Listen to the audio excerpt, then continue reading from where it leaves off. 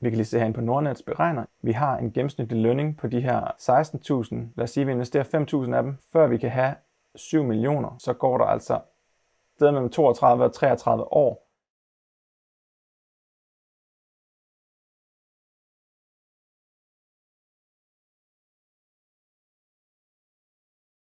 Hej og velkommen til Økonomichefen, stedet hvor du bliver chef over din økonomi, i stedet for at den er chef over dig. I dag der skal vi se på, hvordan man billigst muligt opnår økonomisk uafhængighed i Danmark under de forhold, vi har her med skatter osv. Der er det her begreb, der hedder FIRE, det står for Financial Independence Retire Early, som er et movement, en bevægelse af folk, der forsøger at gå på tidlig pension.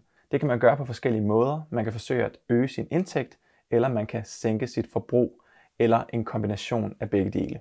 En sidste ting, som er utrolig vigtigt, hvis man gerne vil prøve at opnå FIRE, det er, at man er nødt til at investere en del af sine penge. Fordi ellers så tjener man simpelthen bare penge for langsomt til at kunne nå det. Både fordi inflationen lige så langsomt æder værdien af pengene op, men også fordi vi i Danmark har relativt høje skatter sammenlignet med mange andre lande. Hvilket betyder, at når man får sin lønseddel ind ad døren, så er der en markant portion af de penge, som går til den danske stat. Så det vi skal se på i dag, det er, hvor mange penge man kan have investeret, hvis de skal skatteoptimeres ultimativt meget. Det er ikke fordi, det skal være et mål i sig selv ikke at betale skat. Der er rigtig mange gode fordele ved, at vi betaler så høj en skat, som vi gør. Men det er bare rigtig rart at kende til, hvor grænserne de præcist går, så man ved, hvornår det er, man egentlig skal til at betale mere skat. Så jeg har prøvet at regne lidt på, hvor mange penge man kan have investeret, hvor man betaler den absolut mindst mulige skat. Hvis man skal leve på den måde, så betyder det, at man har mere, end hvis man er på SU, men at man nok skal leve relativt sparsomligt.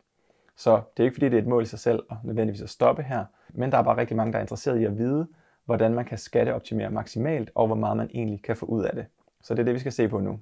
Hvis den her video er brugbar, så må du meget gerne trykke på like lige hernede under videoen. Det er en kæmpe stor hjælp for mig og kanalen. Hvis du gerne vil se flere videoer om penge, økonomi og investering i fremtiden, så tryk på subscribe lige hernede under videoen også.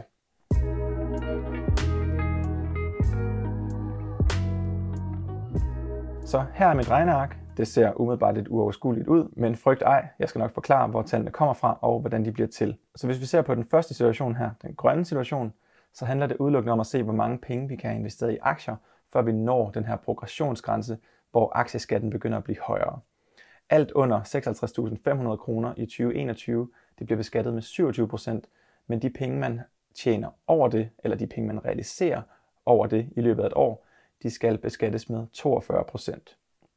Så det vi kan se her, det er, at jeg har lavet to scenarier. Jeg har lavet en portefølje, hvor man hiver 4% ud om året, og så har jeg lavet en portefølje, hvor man hiver 3% ud om året. Så det er altså de her 4% af porteføljen, man skal leve for.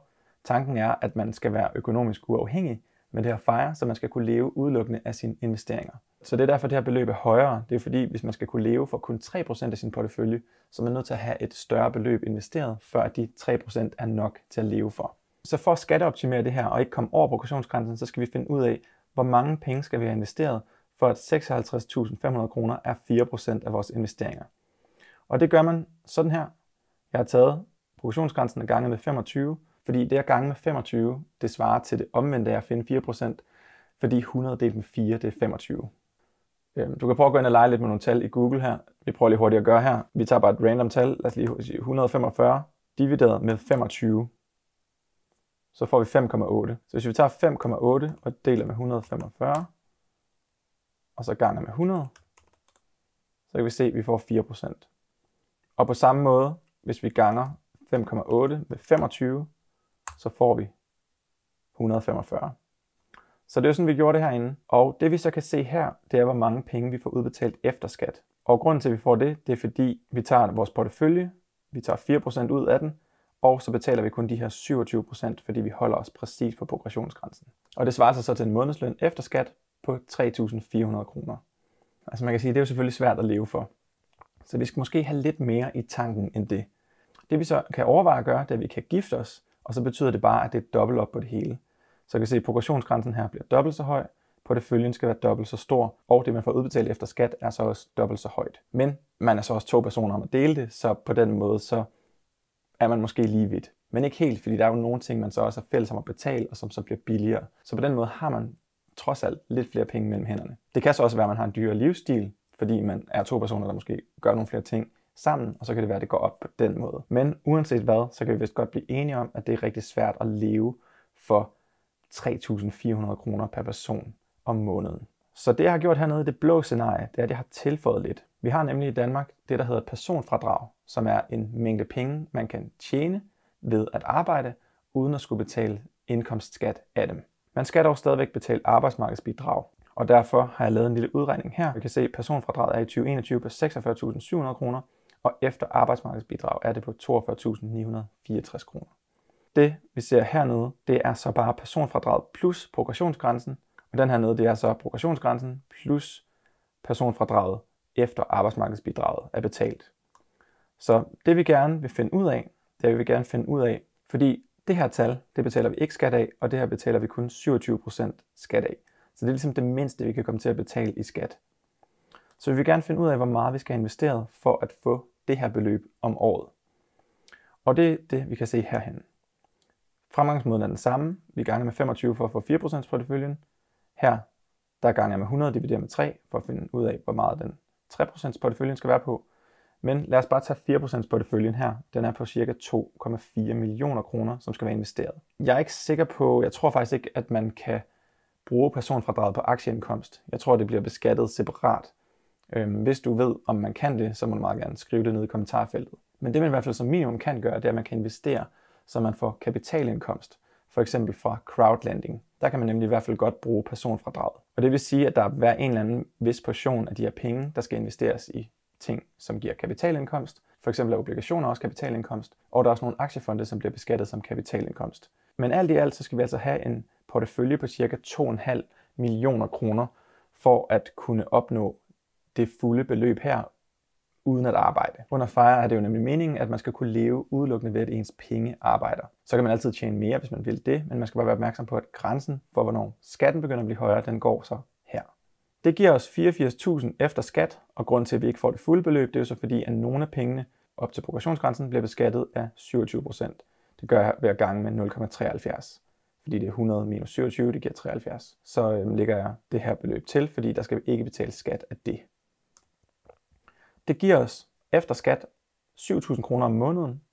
Så begynder vi mere at være der. Så begynder vi at være højere end en SU, og vi begynder rent faktisk godt at kunne sætte en relativt simpel tilværelse op, som i princippet godt kunne fungere. Men man skal så også have 2,5 millioner kroner investeret, og det er altså stadigvæk ikke en særlig rig tilværelse, man så lever. Men det er bare lige for at sætte i perspektiv, hvordan forholdet er mellem tallene. Fordi det her beløb er måske overraskende højt for nogen, at man skal have så mange penge investeret, og så kan man stadigvæk kun få det her ud om måneden. Men det er altså sådan, det er, hvis man kun hiver de her 4% ud.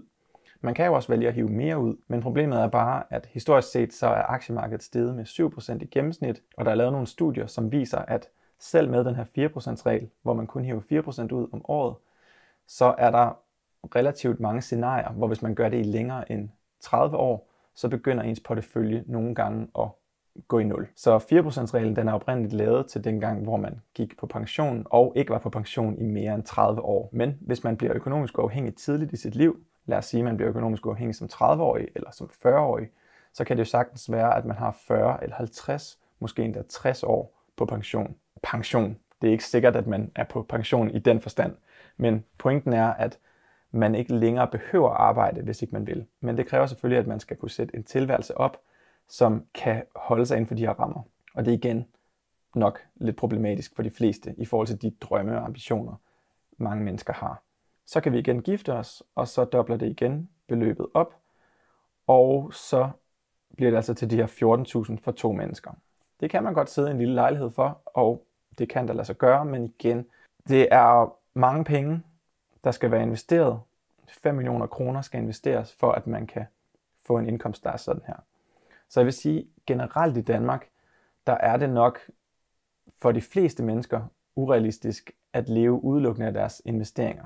I hvert fald så længe vi snakker tidligt i livet. Medmindre man rammer nogle virkelig vilde aktier og får et boost på sin portefølje, så kan det selvfølgelig godt komme til at lade sig gøre tidligt. Men hvis man skal regne med de her 7% gennemsnitligt årlige afkast på markedet, så vil det tage en del tid, før man kan opbygge en portefølje, som er 5 millioner kroner stor. Men man skal bare huske, at det handler heller ikke kun om at være absolut økonomisk uafhængig. Det handler også om, at gradvis økonomisk frihed, det også ændrer ens liv. Altså det vil sige, at man skal bare huske, at det at have halvanden million kroner investeret, hvis man kan få det relativt tidligt i livet, så betyder det, at man har 3.500 ekstra hver måned skattefrit. eller ikke skattefrit, men efter skat, som man kan bruge på hvad end man har lyst til, hvis man ellers har lyst til at trække penge ud af sin investering, frem for at se den vokse yderligere. Så der er lidt at tænke over. Så har jeg lavet et scenarie her, hvor at man er gift, men den ene arbejder. Så kan vi se, at tallene her er præcis de samme som dem, vi har heroppe. Vi har et personfradrag fra den ene, fordi den anden arbejder og bruger sit på arbejde. Og så har vi øh, progressionsgrænsen for at være gift dobblet op her.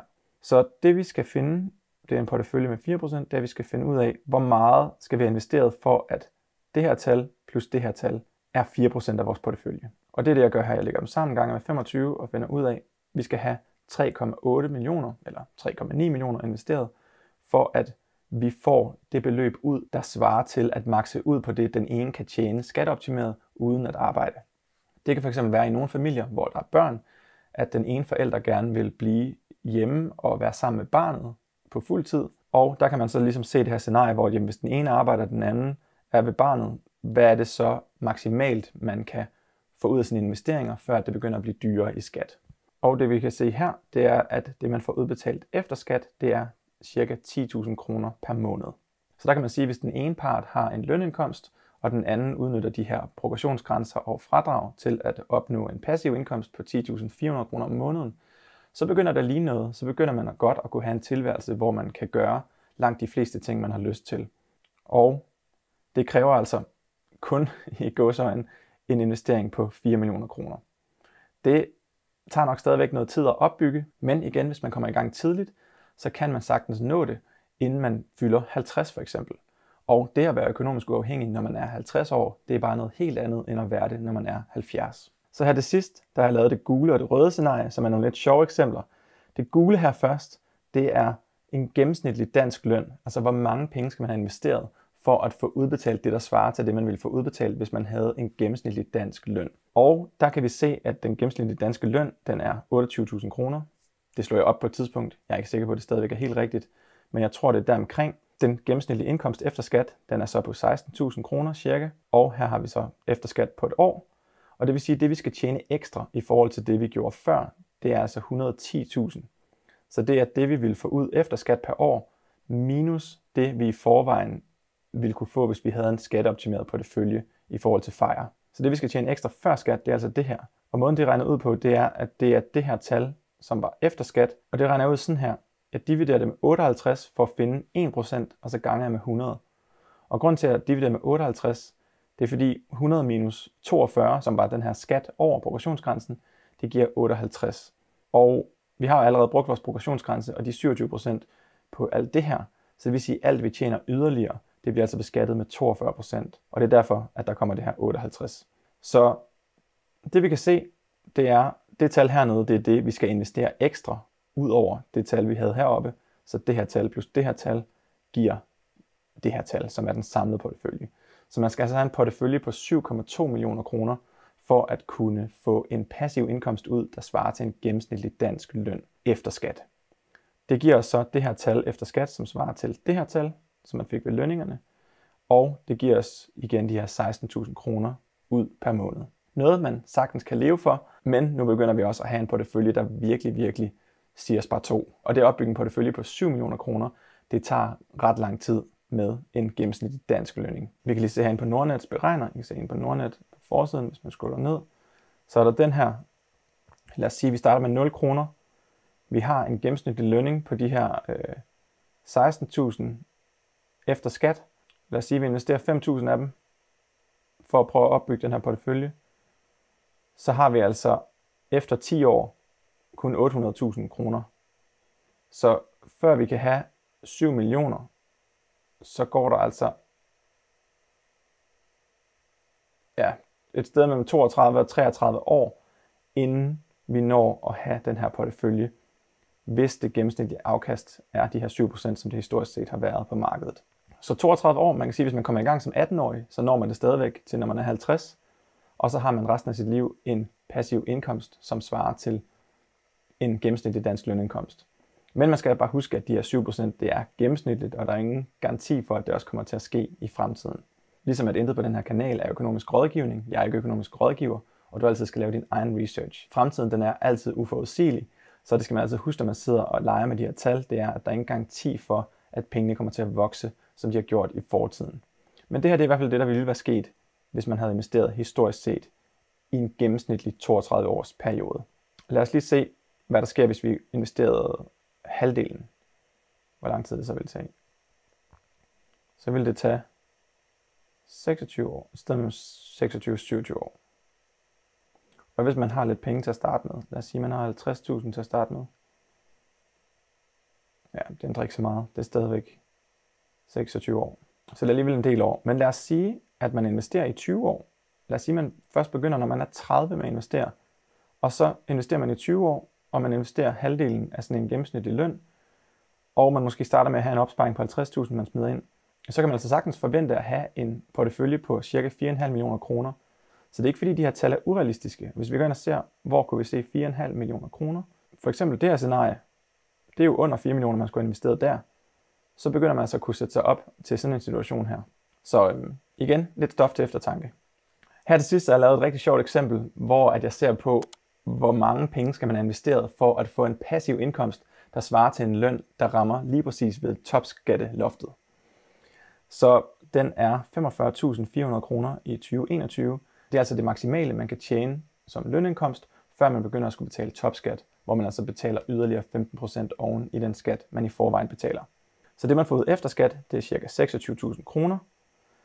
Så har vi den årlige, det årlige efter skat, det er 315.000, og det vi altså skal tjene ekstra, set i forhold til den portefølje heroppe, hvor vi skatteoptimerede vores FIRE-situation, det er yderligere 231.000. Så jeg, det fungerer fuldstændig ligesom den her oppe, men nu ser vi bare på en højere løn. Så det vi skal tjene ekstra før skat, det er det her. Vi regner det igen ud på samme måde, fordi at alt hvad vi tjener skal beskattes med de her 42% ekstra, og vi har makset ud på vores kapitalindkomst til personfradraget med det her crowdfunding eller anden kapitalindkomst. Så lad os gå ud fra, at resten her det er aktieindkomst. Det betyder, at vi skal have investere ca. 10 millioner kroner ekstra og have en samlet portefølje på 12,4 millioner kroner. Så hvis du har en aktieportefølje på 12,5 millioner kroner, så behøver du aldrig arbejde igen. Surprise. Men så har du rent faktisk en passiv indkomst, hvis du hiver 4% ud om året, der svarer til det at have et job, hvor du tjener en løn, der svarer til topskattegrænsen. Det giver dig de her 26.000 ud efter skat, cirka. Så meget interessant. Lad os lige hurtigt kigge herinde igen. Lad os sige, at du har et gennemsnitligt job, så starter vi lige ved 0, har vores 7% i afkast, og hvor lang tid skal der så gå, inden vi har 12,5 millioner kroner? Det tager... Og det var godt nok stærkt heroppe. Var det ikke... Hvad var det, vi gjorde før? Ah, det var fordi, der var det 5.000. Øh, der var det 5.000, og så var det mellem 32 og 33. Men det er faktisk også de her 33 år. Imellem 33, 32 og 33 år. Øh, nej, 33 og 34 år. Så har man en så stor portefølje. Så igen, hvis man er i gang som 18-årig, så kan man blive topskatte passiv investor øh, relativt tidligt i livet. Øh, I hvert fald, hvis man sammenligner med den normale pensionsalder, hvor man jo heller ikke er rig, når man går på normal pension normalt. Men her der vil man nok begynde at, at føle sig ret rig, fordi ikke nok, men man har den her passiv indkomst kørende, så kan man jo også stadigvæk tjene penge ved siden af, og så begynder man at kunne virkelig at ja, nærmest ikke kunne nå at bruge sine penge, inden man skal herfra igen. Så kan vi lige hurtigt tage et kig på, hvad hvis man så har et topskatte indtjenende job. Lad os sige, man har de her 26.000, så kan vi godt investere halvdelen her. Så behøver vi ikke 23 millioner. Vi skal finde ud af, hvor de 12 de er. Det var cirka her. Så 27 år. Måske lidt overraskende, at det ikke særlig meget længere tid, man skal investere med en gennemsnitlig dansk lønning, som med en topskattelønning for at opnå den her økonomiske situation, hvor man har en topskatteløn som passiv indkomst. Det siger lidt om, hvor meget eksponentiel vækst det egentlig har at sige, fordi til dagligt så er der jo ret stor forskel på at få en topskatteløn og få en gennemsnitlig løn i forhold til de livsvilkår, man kan have. Man kan simpelthen bare måske købe et større hus, eller bo tættere på sit arbejde, eller få flere ferier, eller whatever, hvis man har flere penge per måned. Men det er som om, at investering over længere sigt det kan fuldstændig udligne de her forskelle, som man kan gå ind og lave i løn. Det er klart, at det er også nemmere at investere halvdelen af sin løn, hvis man har en højere løn i forvejen. Men det er bare for at sige, at hvis man kan investere, lad os bare sige de her 8.000 om måneden, det er ikke urealistisk, at det godt kan lade sig gøre. Man kan sætte sig op i en livssituation, hvor man gør det. Så i stedet for, at det tager 27 år, så tog det altså bare 33 år. Så der er kun 6 års forskel. Så øhm, alt i alt er budskabet, at investering er sjovt. det er også risikofyldt, men det giver os muligheden for at få en fremtid med mere økonomisk frihed, end man kan ved udelukkende at arbejde. Typisk så sætter man sig op i en situation, hvor man bor med nogle omkostninger, der gør, at det kræver, at man arbejder, indtil man går på pension, for at kunne blive ved med at bo i det hus, hvor man nogle gange har fået sig placeret. Så det, man kan tænke lidt over ved alt det her fejre, det er, at man kan prøve at finde ud af, hvor lidt har man egentlig brug for? Altså, hvor mange penge har man brug for for at leve, og hvor mange penge kan man tåle at undvære til at forsøge at bygge en mere økonomisk fri situation i fremtiden ved at investere? Det er jo et spørgsmål, man kun selv kan svare på. Du har sikkert stillet dig selv det mange gange. Hvis ikke, så kan du begynde at stille dig selv det nu. Og det er kun dig, der kan svare på det. Husk, at det her ikke var økonomisk rådgivning. Du skal altid lave din egen research. Men jeg håber, at det her det var underholdende og sat nogle ting lidt i perspektiv. Jeg synes i hvert fald, det er rigtig sjovt at sidde og regne på og få nogle konkrete tal på noget af det her. Du har set økonomichefen stedet, hvor du bliver chef over din økonomi, i stedet for at den er chef over dig. Du kan også finde økonomichefen på Instagram. Hvis videoen er brugbar, så husk at give den et like, inden du smutter videre. Det er en kæmpe hjælp. Smutter videre, apropos, så kan det være, at du smutter videre ind og ser nogle af mine andre 70 mange videoer om investeringer. 70 mange. Jeg, jeg ved faktisk ikke, hvor mange der er, men der er i hvert fald en del, som du kan gå ind og se, og der er en hel masse at lære om penge. Indtil vi ses næste gang, så kan du overveje at subscribe her til kanalen. Vi ses på internettet.